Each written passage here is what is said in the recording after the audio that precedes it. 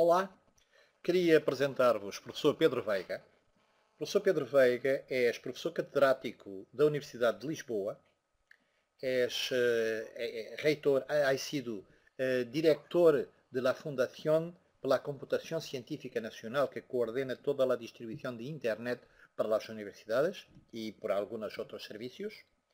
Igualmente ha sido eh, pró-rector da Universidade de Lisboa e é, neste momento, responsável por la evaluación de calidad de la enseñanza en las áreas de la computación científica. Lo que he pedido al profesor Pedro Vega para compartir con nosotros es su conocimiento y su sabiduría relativo a los procesos de evaluación que he estado eh, trabajando en un curso que he sido coordinador. Pedro, muchas gracias por estar con nosotros y te agradecía que pudieras enseñarnos y compartir tu experiencia de eh, digamos, mixta, una parte presencial otra parte a distancia, que has implementado en tu curso. Olá, buenas. Em primeiro lugar, desculpem meu, meu espanhol, é mais um portunhol, vou tentar-lo o melhor para que, que me entendam. Uh, agradeço a António Reis invitar-me para falar um pouquinho da minha experiência. Tenho experiências em várias áreas, como o António disse na apresentação, fui responsável por la rede académica e de investigação portuguesa.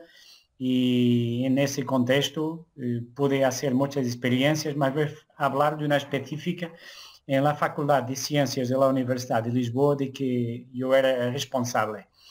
E, uh, falando muito rápido do curso e seu contexto, foi eh, com a, a introdução do, processo de Bolonha, se decidiu em la Faculdade de Ciências que todos os estudantes que entravam por la primeira vez deveriam ter dois cursos que se consideram fundamentais na universidade.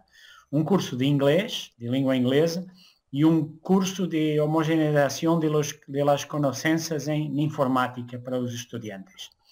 Inicialmente foi um desafio eh, fazer este curso, porque todos os anos, todos os anos tínhamos cerca de 1.200 alunos, eh, não podíamos, não, não era possível ter muitos recursos eh, de pessoas para tantos estudantes.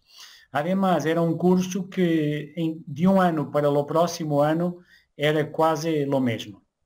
Assim decidimos fazer uma utilização eh, massificada das tecnologias de informação para tornar mais eficiente o processo de ensinança e ao mesmo tempo termos uma qualidade de avaliação eh, muito muito robusta, muito, muito grande. Todos nós sabemos que as universidades se distinguem em diferentes aspectos, a qualidade de seus professores a hacerem investigação e a, a hacerem a enseñanza, la qualidade e, e do modo como fazem a certificação das conhecências dos estudantes. Se sabe que há instituições que são mais exigentes sobre os estudantes e outras que não são tão exigentes para ser simpático. Há casos em que os estudantes fazem seus cursos e, lá, e as conhecências que têm são, são flacas e, portanto, algo muito importante em uma instituição, em complemento da qualidade da enseñanza, é a avaliação. Certificar que um estudante tem uma certa quantidade de conhecimentos ao fim do semestre e atribuir um grado que seja uma classificação da quantidade de, de, de las conhecências. E isto é muito importante porque pode ser a fronteira entre uma instituição credível e uma instituição não credível. Eh, este curso que teníamos, que era uma introdução às tecnologias de informação, tinha diversos módulos. Eh, um módulo de introdução às tecnologias de informação, um outro módulo de introdução à tecnologia de internet, especificamente, e as ferramentas internet, Uh, um outro módulo de introduzir as tecnologias associadas ao escritório eletrônico, o processamento de texto, folha de cálculo e apresentações. É algo que muitas vezes pensamos que todos os estudantes que chegam à universidade já sabem. Efetivamente, há cada vez mais estudantes que dominam essas ferramentas, mas há estudantes que têm muito pouca prática ou sabem fazer uma utilização muito básica. Depois havia um outro método, módulo de ensinança eh, associado à utilização de pesquisas bibliográficas no mundo universitário. Os estudantes vêm, podemos dizer, creio que em espanhol é também válido, viciados em Google, pensam que Google eh, resolve todos os problemas e há que apresentar-lhes o modo como se hace a avaliação de trabalhos científicos, a publicação científica e que ferramentas temos, incluso em, em, Portugal temos algo que chamamos a Biblioteca Científica Digital, onde os estudantes têm acesso a quase 20 mil revistas científicas. E, portanto, eh, há este módulo de ensinar aos estudantes a como se hace pesquisas em la universidade. E finalmente há um módulo que fala um pouco de criminalidade informática, eh, critérios e, posturas éticas face às tecnologias de informação. E estes módulos, que, que acabei de descrever de um modo muito, muito sencillo, eh, são, têm muito poucas variações cada ano e todos os 1.200 estudantes eh, necessitam de eh, frequentar estas classes. Assim se criaram módulos em vídeo onde estes assuntos são tratados e os estudantes numa base voluntária e eh, modo assíncrono, dependendo das suas possibilidades, podem frequentar estas aulas que estão pré-gravadas. Depois, há a componente de avaliação, que agora vou eh, gastar um pouquinho mais de tempo a tentar explicar. A avaliação para nós é muito importante porque, como disse, é algo que é necessário para acreditar a instituição. Uma instituição tem sua credibilidade se o mercado de trabalho reconhece, reconhece que os estudantes que salgam da universidade y las clasificaciones que tienen son una boa medida de la calidad de los estudiantes. E, portanto, é necessário ter um sistema de alta qualidade. E, para nós, a parte presencial é, com o estado atual de, de desenvolvimento de tecnologia, muito importante. E, portanto, a avaliação tinha duas partes. Uma parte de quizzes em la plataforma Moodle em uma sala. Eh, preparamos antecipadamente um banco de centenas de perguntas. As perguntas são perguntas tipo teste americano, de escolha múltipla, ou perguntas de eh, eh, emparelhamento, emparejamento, creio que se diz assim em espanhol, de conceptos. Eh, os estudantes eh, em grupos de 32, que é o número de computadores que temos em cada sala de avaliação, eh, se colocam cada um diante de, um, de uma pantalla e têm meia hora para responder às perguntas eh, de, de, de, este teste.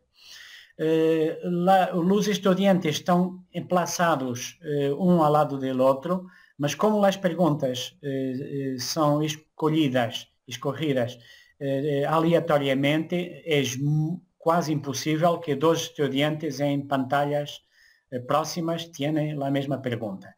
E, portanto, eh, isto é um método que ha funcionado muito bem e quando, eh, depois de meia hora, o estudante termina, nós temos de imediato a classificação que é calculada por o computador central onde funciona a plataforma Moodle. Depois, há uma outra componente que é muito mais pesada em recursos humanos e que consiste num trabalho individual de cada aluno. Basicamente, o estudante, o aluno, tem de fazer um relatório sobre um pequeno projeto que envolve a utilização de Excel, eles calcularam uma porcentagem de um, um, o custo de um seguro em várias situações. Depois, tem de fazer um relatório com o processador de texto, com uma certa estrutura, É impressionante a quantidade de estudantes que chegam ao primeiro ano da universidade e não têm uma noção correta da estrutura de um relatório, da capa de cobertura, identificação, o índice, eh, o resumo do relatório, o relatório e suas diferentes secções, a bibliografia. E, portanto, o estudante, cada estudante tem de fazer um relatório e também uma apresentação PowerPoint planejada para cinco minutos. O relatório e a apresentação PowerPoint é eh, evaluada individualmente por lo, os professores. Eh, de facto, há uma professora que é responsável por reuniões com todos os estudantes. Eh, é um trabalho intensivo, mas é a filosofia que nós utilizamos para termos confiança que os estudantes foram responsáveis, cada estudante foi responsável por fazer seu trabalho. Portanto, a avaliação é hecha com uma metodologia que consiste em uma prova presencial eh, hecha diretamente no eh, computador, um trabalho que é hecho autonomamente por cada aluno, e nós outros sabemos que os alunos falam com uns com outros e pode haver possibilidade de, como chamamos, uma inspiração de seus colegas, mas depois, como há uma entrevista individual para cada estudante, essas situações se conseguem filtrar. E esta parte do relatório tem um peso de solo 30% em la classificação final. A parte mais importante é os 70% de la avaliação individual hecha por ordenador. E, portanto, já teremos experiência deste curso funcionando durante oito anos. Uh, há sempre algo a melhorar. Sabemos que na universidade estamos sempre tentando melhorar o que hacemos, uh, mas não temos identificado grandes problemas. Quase todos os estudantes estão muito contentes com a parte formativa, os cursos de vídeo, que eles podem ver quando querem em casa. Se algo que não entendem, podem voltar um pouco atrás e, e, e, e ouvir de novo o que o professor disse. Claro que há também documentação escrita para apoiar cada módulo e, portanto, a certificação das conhecências los estudantes é hecha como descrevi. E, portanto, creio que com esta apresentação cumpri o que António me tinha perguntado, mas se há algo que me he olvidado, eh, falar para uma pantalla é bueno, mas tem alguns problemitas também. António, se há algo mais que quieras saber, pergunta. Uh, muchas gracias por la descripción general que nos ha hecho de, de tu curso, pero que agora queria, me gostaria que con tu experiencia nos puedas criticar y recomendar. Bueno, nosotros habíamos hecho, no es posible hacerlo con lo mismo método um, en, un, en, un, curso MOOC o en un curso masivo, con la cantidad tan grande de alumnos como habíamos tenido, pero con el número muy reducido de docentes. El método que has escrito envolve muchos, mucho trabajo humano, como has, como has referido. Y lo que te quería hacer es, digamos, preguntar el compromiso. El compromiso entre dos cosas. Primero, la evaluación, la evaluación formativa. La cuestión es necesario para mejorar el proceso de transferencia de conocimiento que tengas una grande presión sobre la evaluación formativa. E igualmente tengas una calidad muy grande, que es exactamente la preocupación que nos has enseñado, de la evaluación certificativa. Con el compromiso de estarmos trabajando en este contexto a distancia y que no podemos hacer certificaciones presenciales, ¿qué recomendarías tú que hacer? Digamos, nós habíamos utilizado a plataforma Moodle definindo um conjunto de atividades que os alunos tinham que fazer, tinham que fazer e haciéndolo, digamos, todo isso estava registrado e automaticamente o aluno teria como que uma informação de controle de situação e igualmente os tutores poderiam não solamente evaluar aluno, o grupo y alumno a alumno lo que había realizado, cómo había realizado, etcétera, etcétera.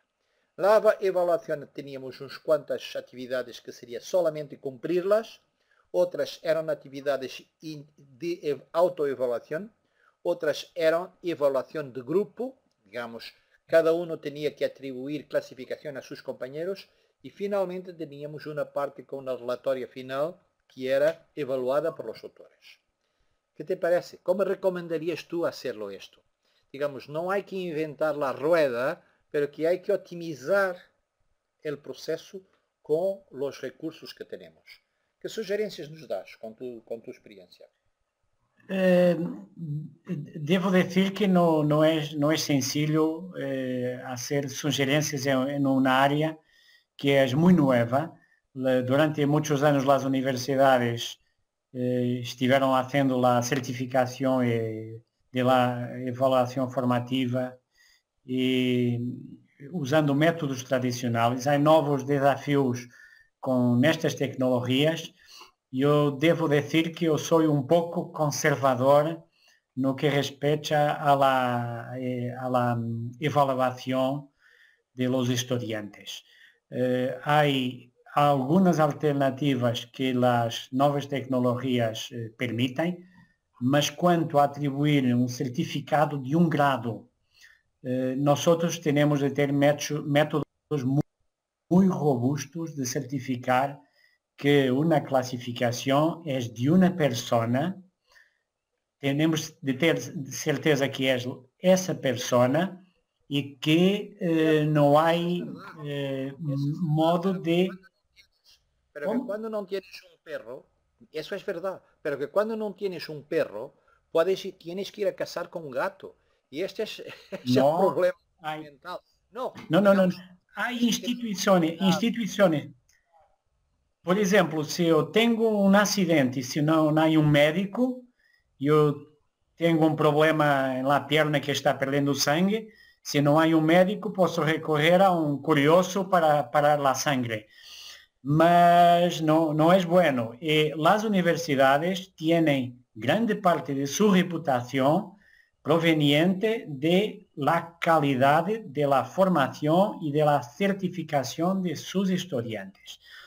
Eh, métodos que não tenham eh, estes padrões de qualidade podem ser hechos por outras instituições. Há também universidades mais credíveis e menos credíveis las universidades de grande credibilidade, devo dizer que não, não creio que seja possível facilitar, ser um pouco menos robusto. Se podem passar certificados de frequência, certificados de participação, mas o certificado universitário de, universi de universidades de reconhecidas internacionalmente de qualidade, têm de ter métodos muito robustos de certificar que um estudiante es, passou todos os padrões de eh, formação de la instituição.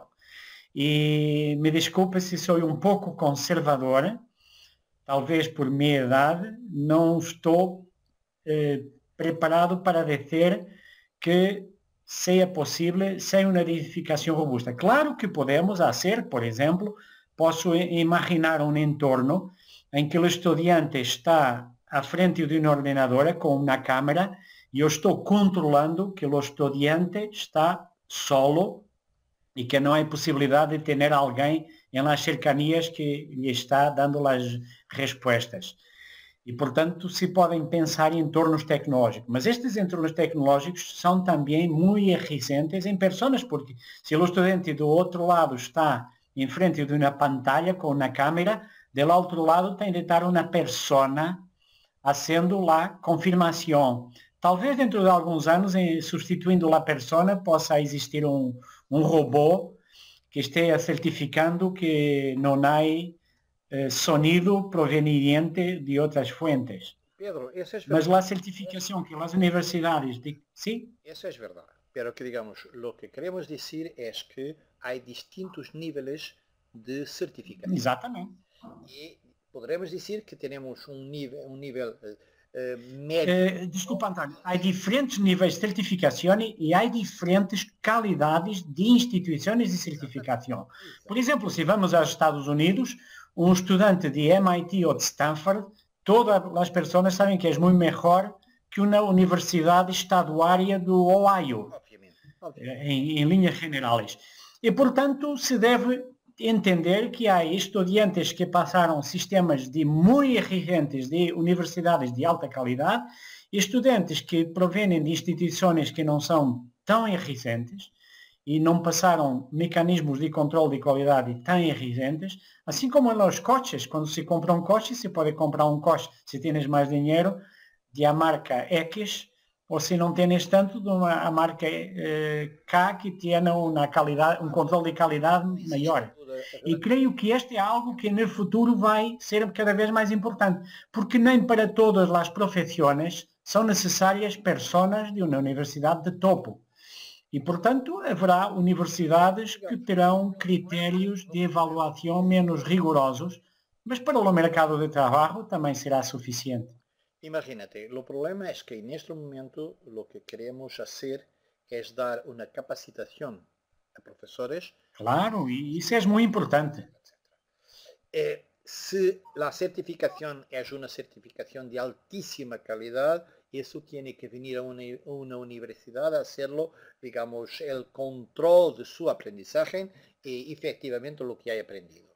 Pero que si queremos tener, digamos, un, un promedio de, de, digamos, de un compromiso e, digamos, queremos fazer cursos a custos muito, muitíssimo baixos, isso não é possível ter um fator. Sim, claro, há, há países, há regiões que têm a necessidade de elevar lá, lá o nível de, de competências médias de sua população e para este efeito eh, a matificação com os MOOCs é muito, muito, muito importante e é uma ferramenta fundamental mas em la sociedade sabemos que a pirâmide.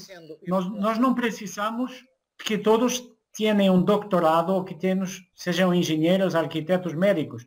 Também precisamos de outras profissões com menos eh, exigência e, portanto, há lugar para diferentes instituições, diferentes métodos de avaliação, dependendo do nível da pirâmide que queremos eh, preencher. Estou fazendo cursos à distância de capacitação de professorado desde há um pouco mais que 10 anos.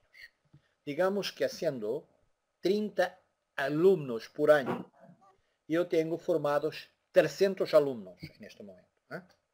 Pero que se eu vou fazer um curso massivo, em que, ao invés de ter 30 alunos, eu vou ter 3 mil ou 30 mil, eu posso fazer uma capacitação de 200, 300, 1 milhão de pessoas em 5 anos. ¿Mm? E isto não é uma evolução, isto é uma revolução. E para dar o mínimo, chamamos, o mínimo de certificação a, que, a uno que se ha envolvido, não quero, não vou distinguir entre um 9 e um 10, pero que vou distinguir entre um apto e um não apto. Porque, digamos, o detalhe de la fricción não é o mesmo si lo hacemos totalmente a distancia. Por eso, pero que tenemos que tener la noción de uno que no sabe nada, de otro que ha cumplido un mínimo de conocimiento sobre aquilo que ha sido el contenido del curso. Y esto es básicamente el objetivo fundamental. Y de tus palabras, digamos tú, lo que quieres decir y con mucha propiedad, es que tenemos que tener muito cuidado quando vamos a ferir em milímetros situação. E, e repara que eu estive falando do entorno de minha universidade, a Universidade de Lisboa é a maior universidade portuguesa, é a melhor colocada em los rankings internacionais. Em los rankings ibéricos estamos muito, eh, ibero-americanos estamos muito avançados e, portanto, é uma universidade que é muito exigente e, portanto, utilizamos métodos que eh, necessitando recursos humanos para fazer a certificação eh, é necessário para... É totalmente distinto, é um contexto de uma universidade claro. que pode dar seus certificados de qualquer maneira e os certificados têm um, digamos, um grado de detalhe muito grande. Pero que aqui, lo que queria eh, escuchar é a segunda questão Não é a primeira, porque a primeira habíamos escutado como organiza estas coisas utilizando métodos à distância, métodos presenciais, etc. Pero aqui era dizer, que me sugeres para hacer isto? Digamos, uma solução de compromisso entre hacerlo totalmente à distância e darle, digamos, uma opinião com um mínimo de credibilidade sobre o aproveitamento de nossos, de. Me parece que, que estamos... Okay, creo que, que estamos creo que tenemos una, una, base, una buena base para discusión de este tema el futuro. No es un tema cerrado, hay mucha discusión se, se puede hacer. Yo procuré con la descripción del entorno de enseñanza mezcla, mezclada y evaluación también mixta, explicar lo, os desafios que enfrentamos e como os resolvemos. Mas não é um tema cerrado, há muito trabalho, trabalho a, a ser. Olha, Pedro. E, portanto, muito obrigado. Muitíssimas graças e... por uh, compartilhar com nós outros tua experiência, tua sabedoria, tudo aquilo que has aprendido em tua vida profissional e vamos continuar o debate. Muitas graças. Cumprimentos. Adiós.